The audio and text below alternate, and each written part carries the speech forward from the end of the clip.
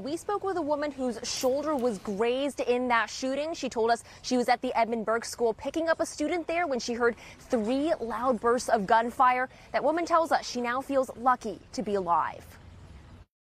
A bullet came from behind me and it grazed my shoulder.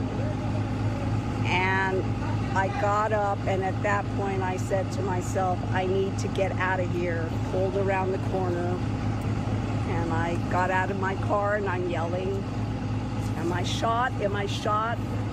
Am I shot? Patricia Termini would soon realize she was in fact shot. She showed us the bullet hole in her shirt and says if she hadn't ducked, she would have been badly hurt. The back of my car was broken. The window was shattered. That's my car. It's right just down the street. There's a black Kia. It was with the window shot out. That's my car. And this mom says she was nearly shot too. She didn't want to show her face on camera, but was also at the school waiting to pick up kids when she heard the gunfire. But I saw people laying on the ground and there was shattered glass coming down. So I just stopped because it was just chaotic. I froze in place for good two, three minutes.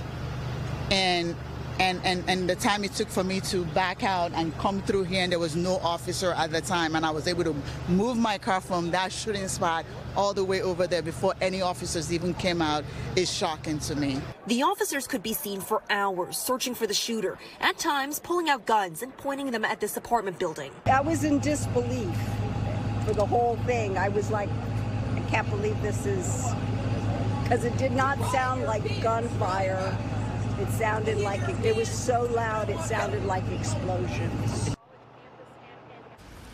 And back out here live, the police presence does seem to have scaled down quite a bit. We still see a fair amount of officers, but not as many as before. They have started to open up some of the streets that were previously blocked off. Connecticut Avenue now open to traffic. It had been shut down all afternoon. Uh, we also know that shelter in place has finally been lifted at UDC, so hopefully people will start to be able to return home at some point soon. Uh, we know those people who were evacuated earlier from the Ava building had to run out with basically only the clothes on their backs, and now that Night has fallen. It has gotten quite a bit chillier out here, so you really do feel for those people who were only wearing t-shirts and shorts when they ran out. Uh, but uh, certainly still a long night ahead as that investigation is very much underway. Back into you. So many close calls and chilling accounts. Aimee Cho, Aimee, thank you.